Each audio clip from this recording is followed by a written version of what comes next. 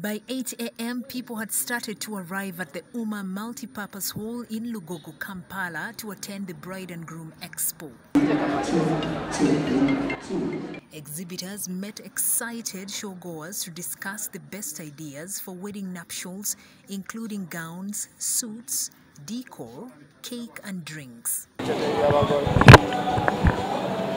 We have a draw where we're going to give out prizes. We have uh, a des honeymoon destination to Southern Palms Beach in Diani. We have a two-night stay at Miss Hotel.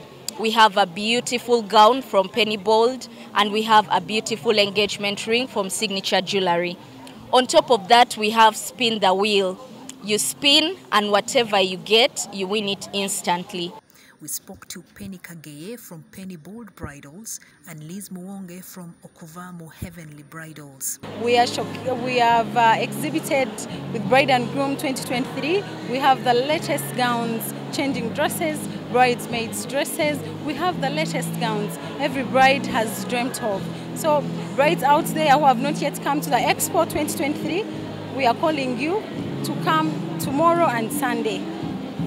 It's only 10,000. Please come and get the beautiful gowns.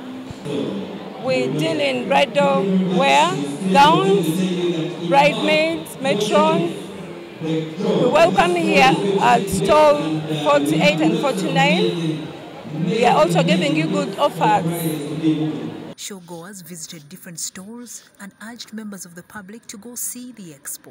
I have seen so many bridal gown dresses like in bridal wedding shop. I have seen so many gown dresses and the unique bridal at Namaganda Plaza. So I'm planning to come in October so that we can get one of those gowns which I have appreciated. Love is in the details is the theme of this year's Bride and Groom Expo, and so many goodies are lined up. Kenneth Moota, the deputy events manager at Vision Group, says all items purchased at the expo are discounted for all buyers. We have uh, people exhibiting different gowns, uh, we have people exhibiting different suits, cakes, sh- men's shoes, ladies' shoes, rings, lots of things. We have quite a number of activities lined up for you today uh, up to Sunday. We have fashion shows. You need to come. Look at how these, uh, uh, these gowns, the suits, the shoes look. Come and understand which kind of gown, which kind of suit would you desire or fits your fits the nature of the event you have. We are going to be here at Uma Multipurpose Hall from uh, Friday, today, the 23rd, up to until Sunday, the 25th. In a special way, uh, we were joined by our friends uh, from uh, NIRA. Those of you who have issues with your national IDs, today is the time. Today is the opportunity you have.